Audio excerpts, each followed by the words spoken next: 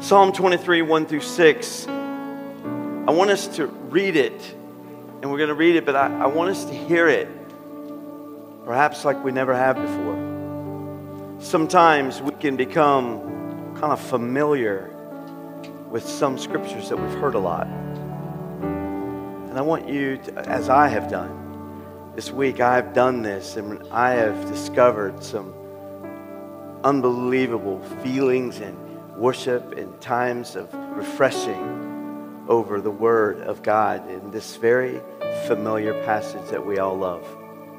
So listen to it like you've never heard it before. A psalm of David. The Lord is my shepherd. I shall not want. He makes me to lie down in green pastures.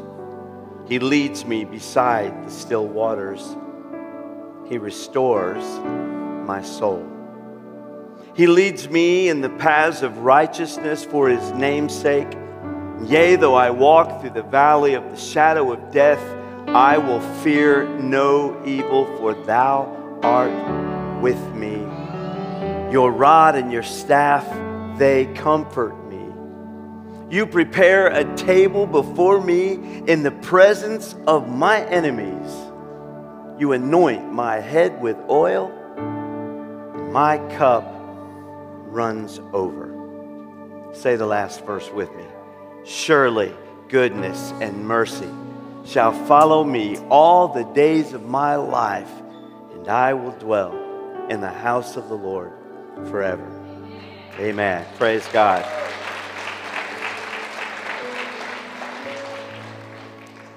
Let's pray. Heavenly Father, we thank you for the presence of the Lord that is here with us. We ask you now to take the word that you have given, and I believe the word that God you have for our church, even on such a day as this. I pray that you would comfort and bring peace, bring restoration to the people who have gathered here in your name, those who are gathering with us online touch them today and minister to us all. And Lord, if there is anyone here that does not know you as Savior and Lord, my heart is that they will come to know you in this very hour. In the name of Jesus Christ, we pray. Amen. You may be seated. It's good to see Sister Pitts. Sister Pitts, I was on in the Caribbean Ocean, and I got word that you were in the hospital. So I'm glad to see you this morning. Caribbean didn't keep me from praying for you. I'm glad to see you here today. Amen.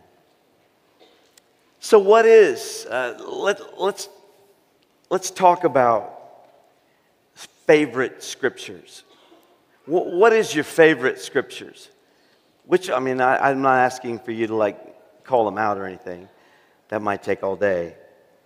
But we have those that are our favorite scriptures, the, the ones that are the most sought after, the ones we look for. We go on Google and we search for the meanings of them. Well, I wanted to find out what is the top five scripture passages that people search for. And I'm, I love to go find those things. And I found the number one scripture that people in the world search for on Google is John 3:16. For God so loved the world that he gave his only begotten Son, that whosoever believeth in him should not perish, but have everlasting life. Guess you can't, I bet you can't guess what the second most searched scripture is in the world. Well, I'll tell you. It's Jeremiah 29 and 11. For I know the thoughts the plans that I have for you, says the Lord thoughts of peace, not of evil, to give you a future and a hope. Now, there's another one. The third highest ranking scripture that is searched for in Google is Philippians 4:13. I know Brian, Pastor, Pastor Brian, Coach Brian knows. He's also a pastor to those young people. I thank you for that.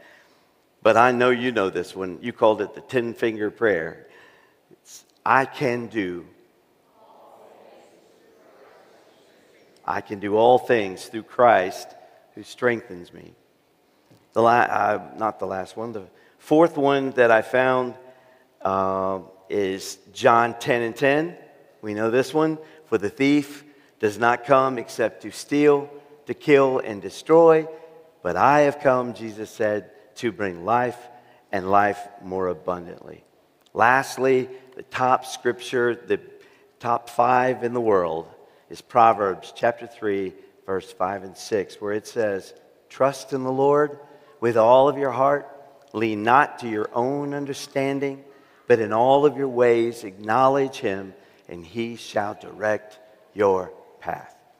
How many of you know we can trust the Word of God? Amen. We can trust the Word of God.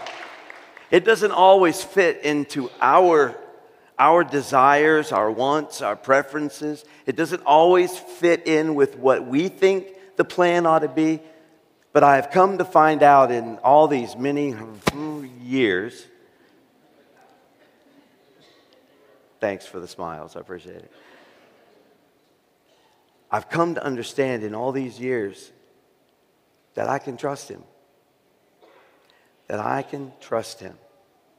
And so, as we look at this scripture today, I, and we're in this restoration project, this is an important time. First of all, can I just say thank you, Pastor Richard, for this wonderful set design? Doesn't that look great? He did so good. Amen. He did great.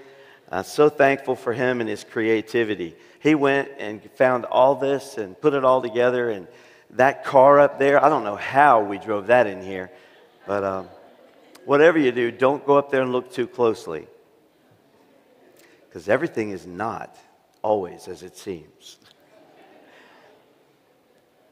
But I also wanted to thank Pastor Debbie and Pastor Luke. Didn't they do a great job preaching while I was gone? I was ministered to in the middle of the Caribbean Ocean. but I was ministered to and my heart was touched, and I'm, I was so thankful that they had such a great word for our church. In the lobby, you'll notice there are a couple of restoration projects. Wanted to share very quickly that those, those two projects that we have going over the next several weeks, you're going to see the process of restoration. And one is you're going to see that piano out there. Now, that is not just a piano we found at the Goodwill, that is the piano that is over, it's over 110 years old. It is definitely at least 107 years old because that was the piano sitting on the front porch in Auburn, on Auburn Street in Middletown in 1915 when our church was being formed by a small little Bible study. So that is the piano that was owned by the Morrison family. They would roll that baby out on the porch and they'd sing and bring down the house, and then they'd roll it right back in. And now here it is, 107 years later, it's sitting right out there, and we have the idea to restore it back to its original beauty because we're in a res- restoration project. So I'm excited to see what that's going to look like. Also, if you'll notice, you go down in the lobby over towards the hub, you'll see there's a pew sitting on a platform that pew belonged to the Clayton Street Church of God. So there were many of uh, your grandparents that used those pews, that sat on those pews, that prayed on those pews, and heard a lot of preaching in its day. So that, that uh, it's a smaller pew, but that's because it was a long one originally, and they had to cut off some of the pew that was damaged uh, through a, a, roof leak at the uh, old building. But we got that. We got this one and we're going to restore it back to its original beauty and make it better. Because that's what's so cool about restoration. Have you ever seen them, them classic cars? Man, they, they didn't look like that in 1950. They weren't that shiny. They didn't even have the, the gloss that we have these days. But man, you can see some of them classic cars. I know a 57 Chevy that I love real well. Mike, raise your hand real big. Mike is now the proud owner of his dad, Orville Robinson's 57 Chevy, black with chrome, silver everywhere. It was beautiful. I used to like kid Orville all the time that he better keep that under lock and key. Because if I ever find the key, I'm going to drive it away. Beautiful car. It looks way more beautiful, I think, than it ever did in the beginning. It's been restored. It's beautiful.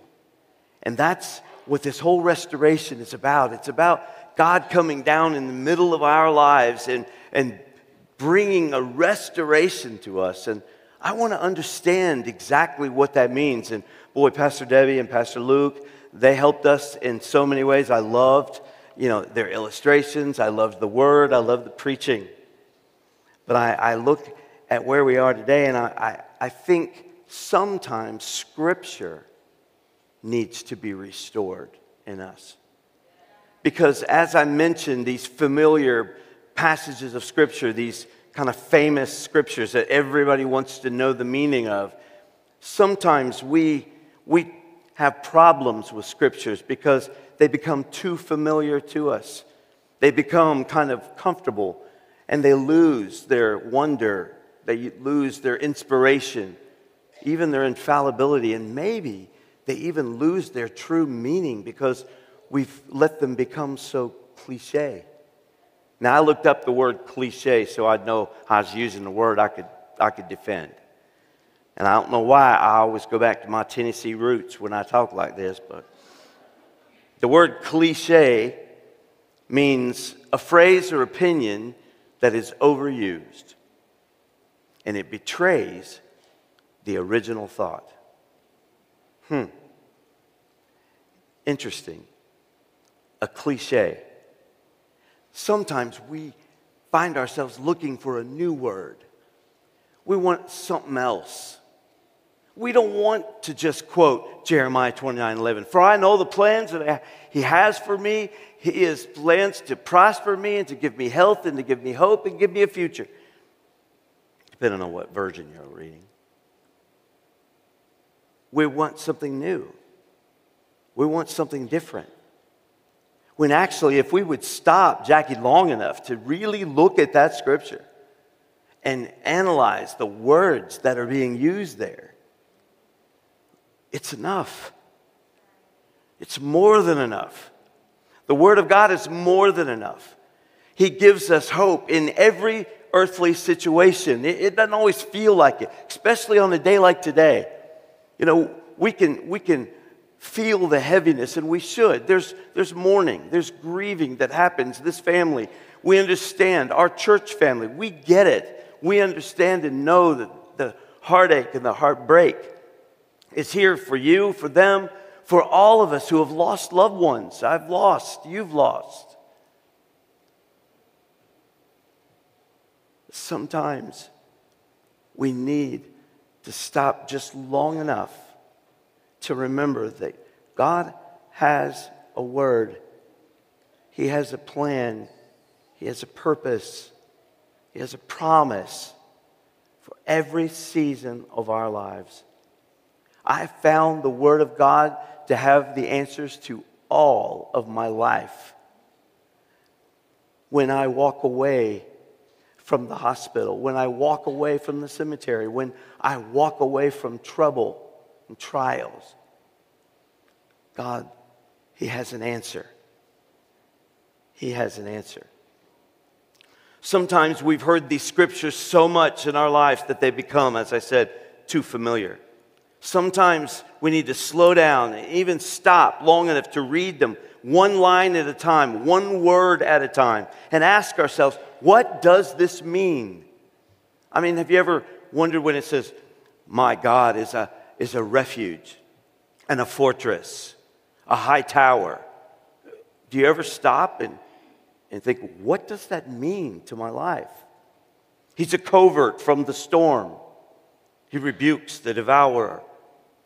Do you ever look at those scriptures and, and want to go deeper? Want to find out a little bit more about what they mean? How they affect us, how they touch our lives today? I do. I do all the time. And I have with the scripture passage that we have now during our restoration project. And it's simple words. It's only four little words in verse 3 of Psalm 23. And it simply says this He restores my soul. What does that mean? What does that look like? How many have just overlooked that line and read through it? We say, The Lord is my shepherd, I shall not want. He maketh me to lie down in green pastures, He leadeth me beside the still waters. He restores my soul. He leadeth me in the paths of righteousness for his name's sake. And yea, though I walk through the valley of the shadow of death, I'll fear no evil, for thou art with me, thy rod and thy staff, they comfort me. Thou preparest a table before me in the presence of my enemies. You anoint my head with oil, my cup runs over. Surely goodness and mercy.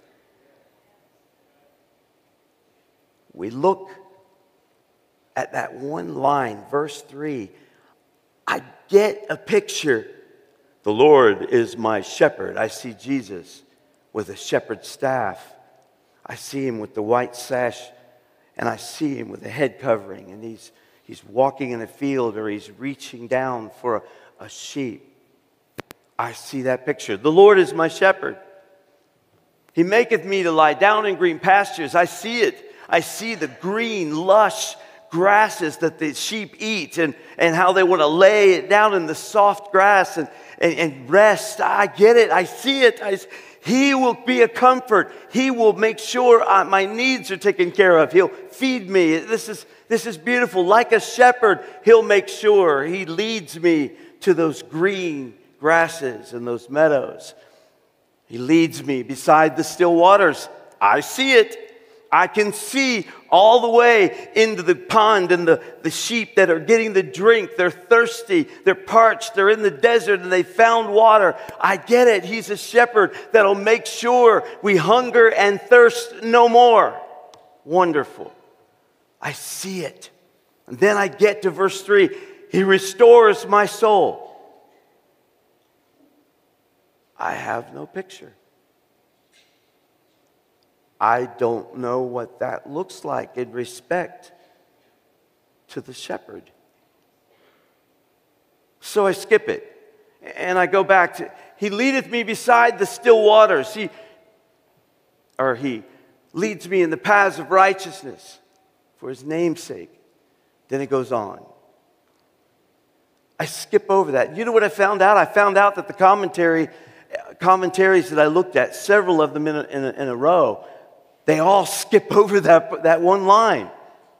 It's like they're sharing with me the shepherd motif, the shepherd mentality behind every verse. And they get to, it says, He restores my soul. And they just kind of let that be there.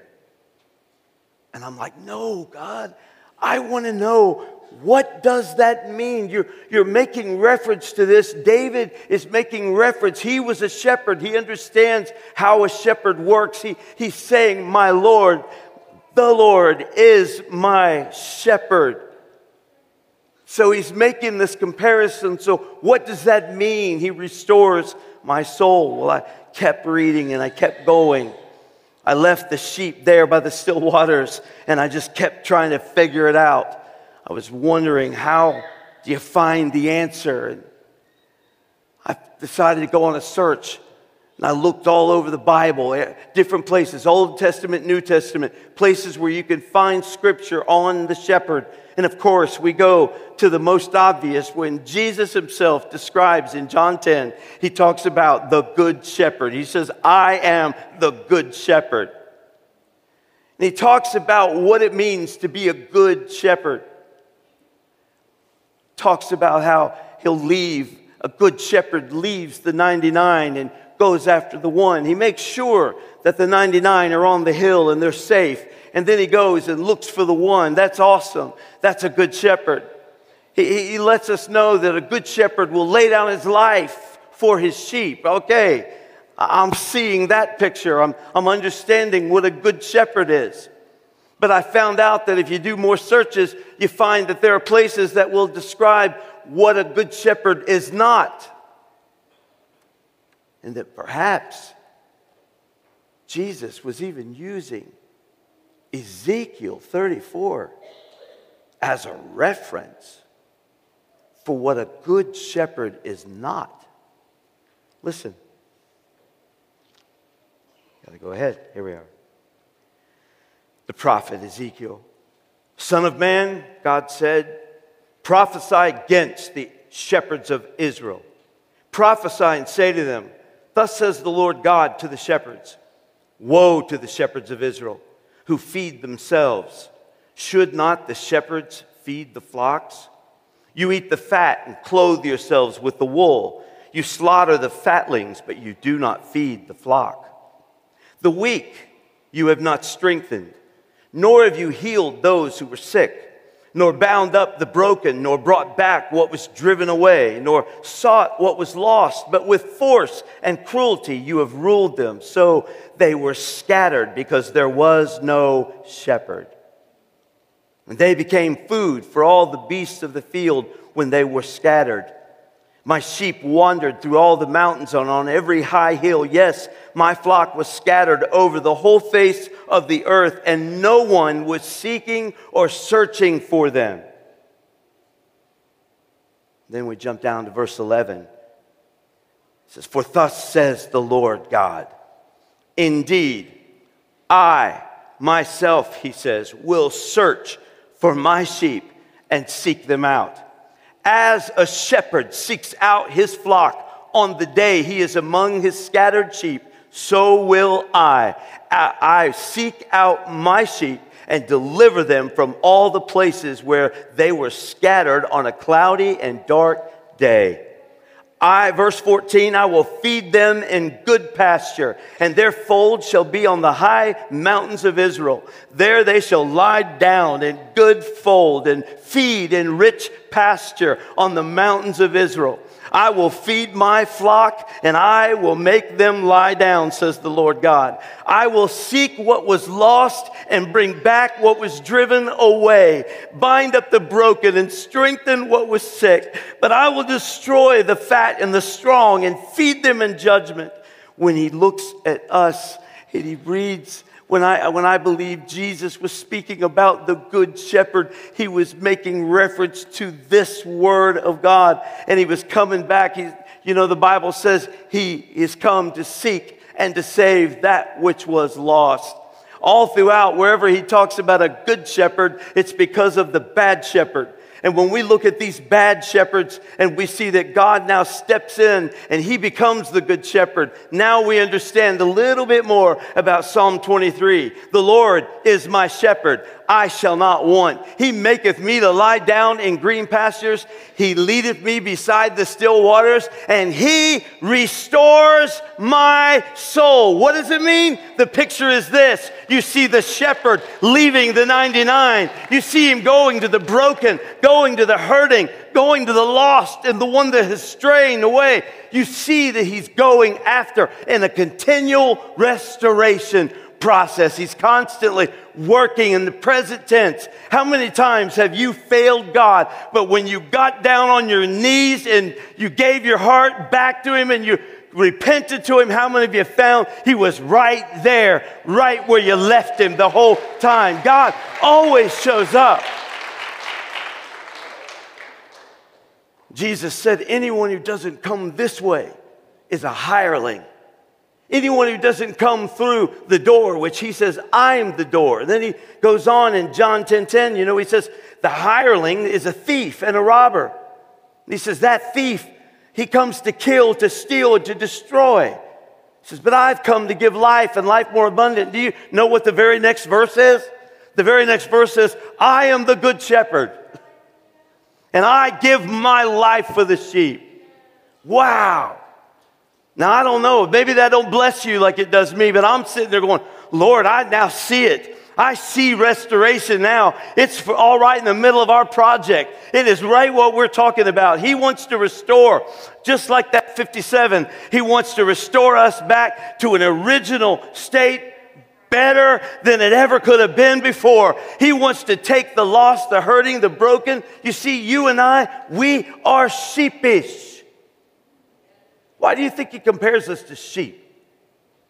Because sheep are dumb. Sheep are dumb. They get up, they wander around, they don't, they don't pay no attention. They got to have a shepherd. They got to have a shepherd with a rod, and they got to be kind of led along. He takes that hook, come on, baby, get over here with the flock. He takes it. Sometimes it's got to be a rod, sometimes it's got to be comfort. Sometimes it rescues them, sometimes that rod punishes them. Whatever it does, it's leading them beside the still waters, leading them, teaching them how to walk in righteousness. He's doing all of these things and he's using the shepherd motif to let us know that this is the kingdom of God and how God works. But we look at it. We look at it and we say, Sheep have to have a shepherd. Think about all the other animals in the kingdom of animals. You don't see dogs all going around in a flock. I mean, unless they're bad dogs. But most dogs just sit on the front porch and wait for somebody to throw them a biscuit. Dogs don't travel in, in, in herds and flocks. Sheep do. But sheep, sheep can't, they, they, can't go on their own. They, they have to have a shepherd. They even have sheepdogs because the sheep got it. They got to be kept. You leave a sheep to itself and it'll wander off and get lost, fall off a cliff, and die. Kind of like us. If you ever wondered, I also find it interesting that sheep have to have shepherds. I've never seen cows. There's nobody, nobody has a, a cow shepherd. Nobody has a pig shepherd. There's no such thing as a cat shepherd. Lord, have mercy. Cats will never need a shepherd unless they're going to eat one. but you, no other animal's got to have a shepherd. So, God in His Word, He makes reference to sheep, that we are like sheep. You think they're cute, but really they're dumb. They go off, they get lost, they get hurt, they get wounded. If they turn over, they're so fat and heavy that their skinny little rod legs can't even get them back over. The shepherd's got to be there to pick them back up and turn them over. God says, I, You're like sheep.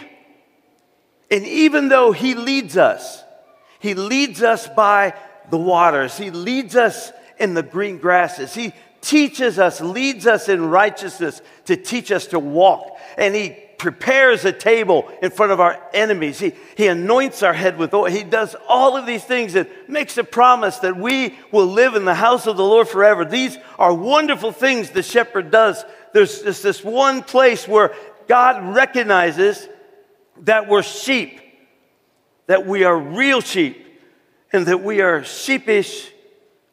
I'm trying to think of other words for sheep.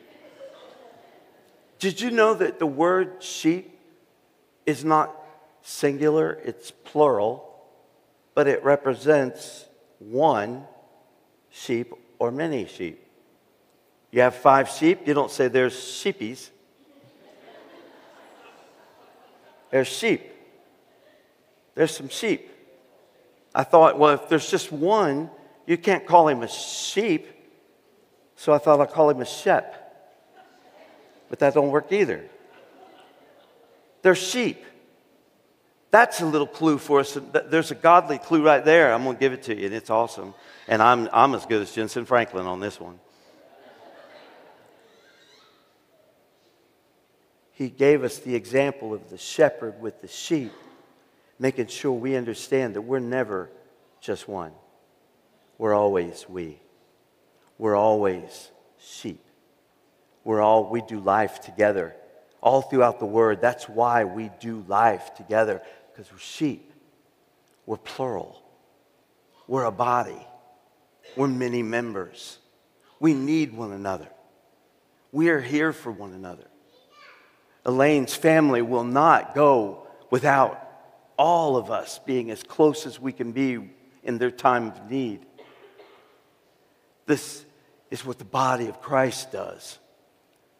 Jesus, he made reference to that sheep and how they need restoration. Now, when I see He restores my soul. I'm like, oh, so now he's leading. He leads me here and he leads me there and he teaches me here and he sets me a table here and he does all of these wonderful things. And at the end of it all, a promise that I will always dwell in the safety of his house.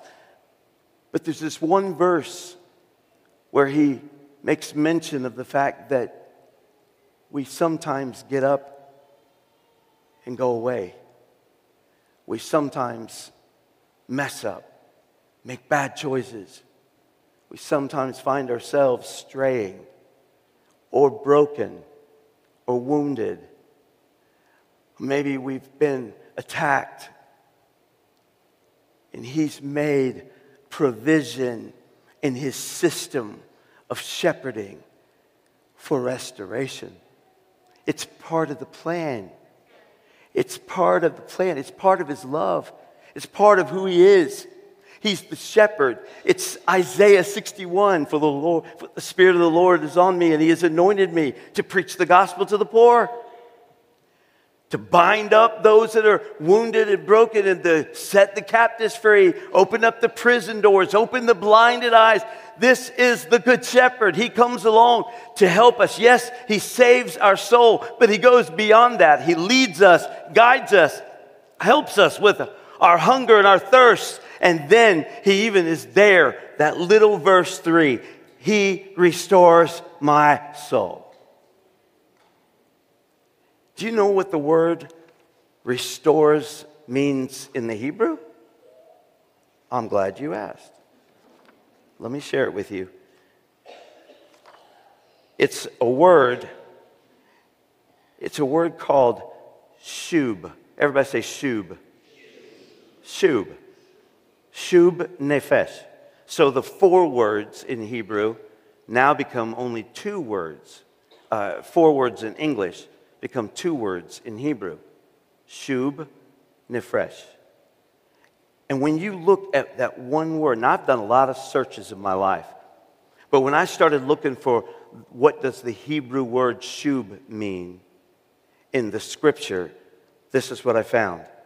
To turn back, literally or figuratively, with not the idea of returning to the starting point, a retreat to its original state, but better.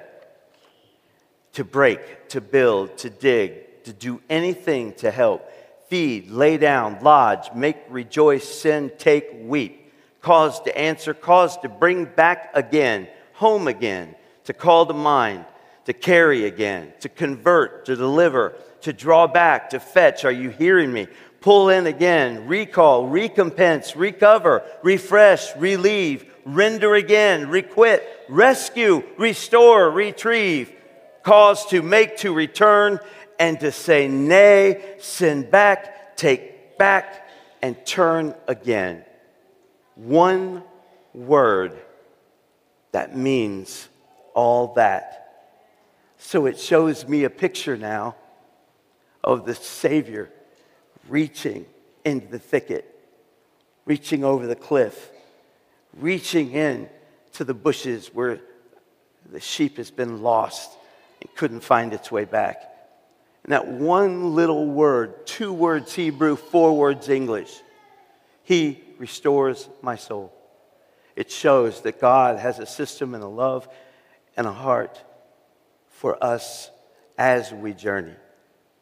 So it's important that you understand His love. So many folks today try to make God so harsh, make Him so difficult. Trust me, the Word of God is clear to outline holiness and righteousness in Christ. We are imputed righteousness from Jesus. I get that. These are important things for us to understand.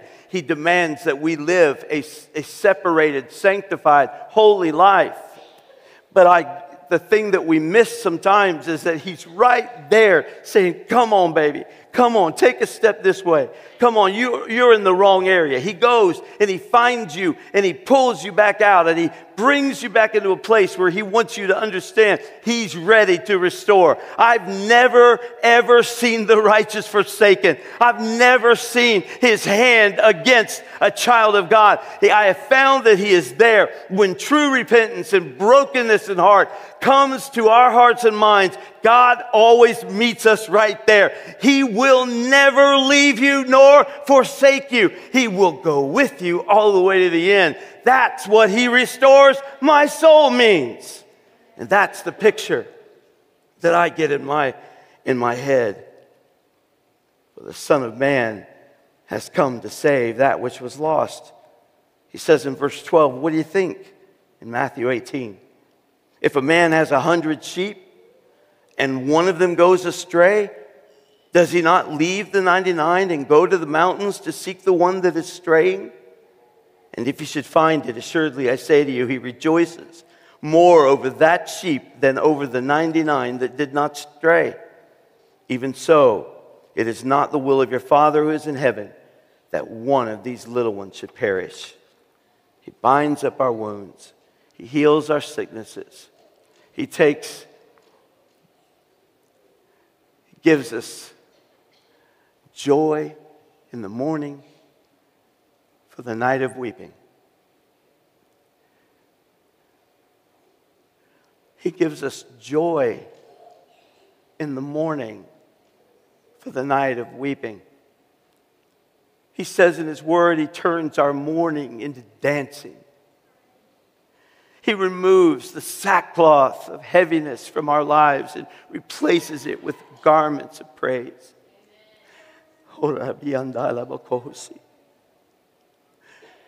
He puts on us a robe of gladness Cindy, I know she was your best friend. You two were like two peas in a pod. See one, see the other. And if you didn't, it's because you was with your husbands. You're going to laugh again. You're going to dance again. And you're going to be fired up with faith again. Because he will not fail you. He's going to restore what has been broken your heart. He's going to restore that. He's going to touch this family. He's going to touch you, Gage. He's going to be with you. You asked me the other night, Am I going to be okay? And I said, Yes, you are. You're going to be okay. Because He is the restorer. He puts us back together better. Would you stand with me this morning?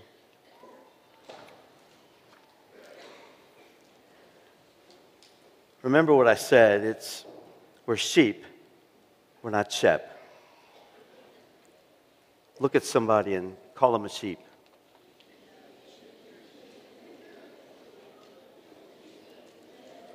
We do life. We do life together. We share our burdens. We pray for one another. I call it, are you ready? Here's a new terminology I call it flock work. It's flock work. Brother Don, we have to we have to care about one another and lift one another up. When one is down, we come alongside and lift up their arms. It's flock work. At some point in our lives, every single one of us, listen closely Brother Garry, every one of us, at one point or another in our lives, we're going to need verse 4. Or, I'm sorry, verse 3. We're going to need his restoration, Jamie. We're going to need it. You're going to need it. I'm going to need it. RJ, he restores my soul. You're going to need verse 3. I know we're used to kind of glossing over that one and getting past that one because we couldn't picture it. But now you will. You'll see a wounded, bleeding, broken. Some of you, you've been broken and you healed wrong because you didn't give it to the shepherd. You healed wrong. You know how, like, I've got a finger here that I didn't do anything right when I messed it up years ago, and so now it's a little crooked. I ain't showing you. It healed wrong. Some of you in here, and I feel the Holy Spirit right now, some of you, you've healed wrong. And you're in your spirit and in your emotions, you're, you're wounded. And it, you're healed, but you healed wrong. You're angry, you're bitter, you're upset, you're unforgiving, or you're just you're crippled in your emotions. You healed wrong, but He's the restorer. He's going to restore you. He's going to touch your life. I believe with all my heart. I, I've been so excited about this series because this is the real ministry, Mike. Mike and I have been talking. We're going to be sharing some stuff with you as a church. We've got some crazy, ridiculous, reckless ideas for ministry that we believe with all of our heart God has, God has brought us all together for. And that includes flock work. We're going to live to be exactly what Jesus wanted us to be, and that's the answer to the problems in the world. We're going to be the answer, not in ourselves. We're, you see, the sheep, the sheep get rescued, get in the flock, and then they, they help keep all the other sheep. That's why they travel like they do. They, they keep the sheep in line. They keep they do it too. We got to take care of one another make sure that nobody gets off track and wanders off. Don't wander off because we're coming after you. God's coming after you, the shepherd. And I know He's going to heal some people in here today. He's going to touch your heart. I want you to step out from where you are. Meet me in the altars if you would, as many as will. In just the few moments that we have, would you please come? And bring that brokenness, bring those things that are hidden inside verse 3. What's in verse 3? Everything that needs restored relationships, your heart, your brokenness, your sadness, your grief. It's in verse 3. Oh, I feel God. I feel that there's a canopy over this place, and God is going to do something amazing. I, I can't do it. I could come over and lay hands on you, and you know that might get me punched. But when the Holy Spirit touches you,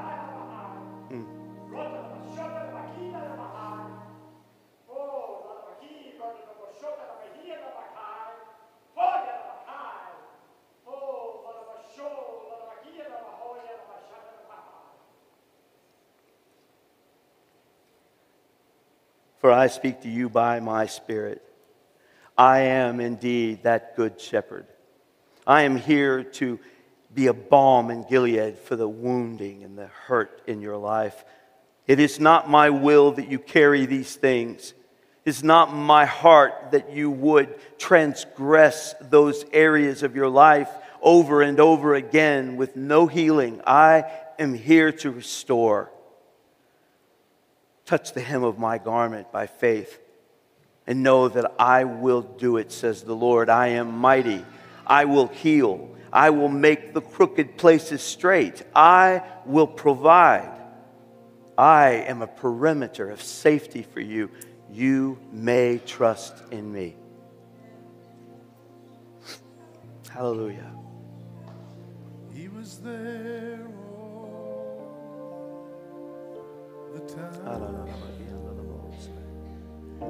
would you very politely, while Garry's singing, would you just put one hand on someone's shoulder standing there in front of you and just make a contact with someone? We pray in agreement here today for restoration. Lord, for you to restore your people. God, we bring to you every hurt, we bring every wound, we bring those things that, Lord, where we have went astray and we've gotten lost in our way, we come back to you today and we return. We ask you, Lord, restore. Be that good shepherd in our hearts and lives. We thank you. You have, you have led us You've led us in those green pastures. We've been there. You've led us to the waters and we've drank and we're thankful. But Lord, we need restored. We've gone astray. And we're so thankful today that we have learned and we understand from your word that God, you've got provision for us. You've got a purpose for us. And Lord, when we fall, falter in our faith, you have a restoration system. You are the good shepherd who leaves the 99 to go searching after the one that is lost. Oh, help us today, God, to grab hold of this truth, for the enemy would not want us to get it. He wouldn't want us to embrace it. For, Lord, He loves to keep us in condemnation. He loves to keep us wrapped up in guilt and suffocated by our own shame. But, oh, in the name of Jesus Christ, Lord, let the eyes be opened in this place and let the power of the Holy Spirit open every prison door and every heart that needs wounds healed and bind together, Lord. Let it be. Let it be. Let it happen, Lord, even in this very moment. We pray over this house and we pray over every man, woman, boy, and girl, lifting up your name and asking you to do and perform the work of restoration. Let us leave this house lighter than we've ever been in so long. Help us, God, to walk out of here free in the name of Jesus free from those things that we've hidden, those things that we've kept quiet, those things that we thought we just got to live with and we will never be free from them. Oh, restore, good shepherd, restore.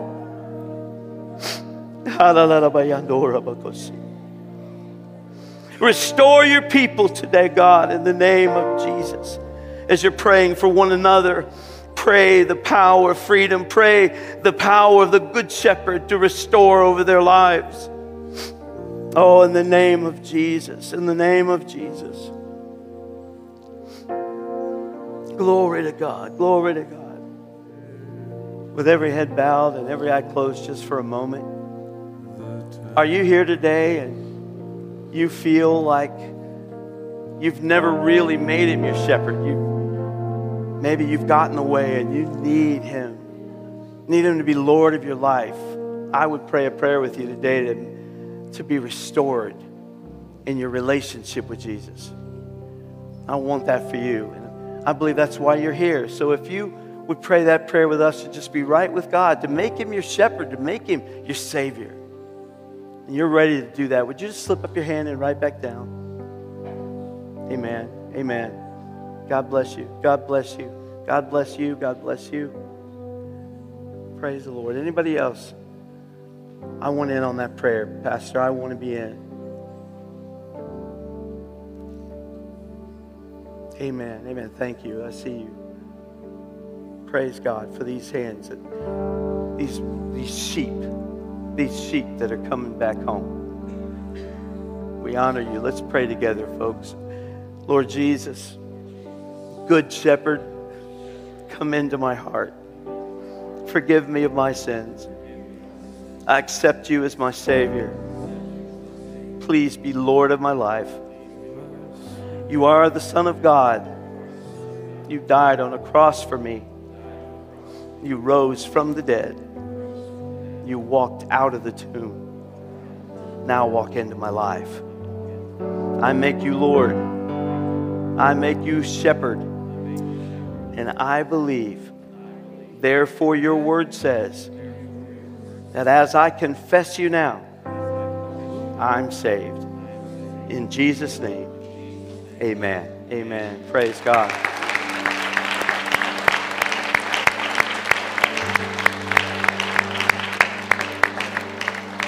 If you prayed that prayer with us, you'll see up on the screen there behind me set free to 97000. Please take a moment, just text that number and put in the text set free, and we're going to be in contact with you. We're going to make sure you get a Bible. We're going to give you some information, help you with your new walk with Christ and how to get established, and we're going to be there for you in any way that we can. God bless you today.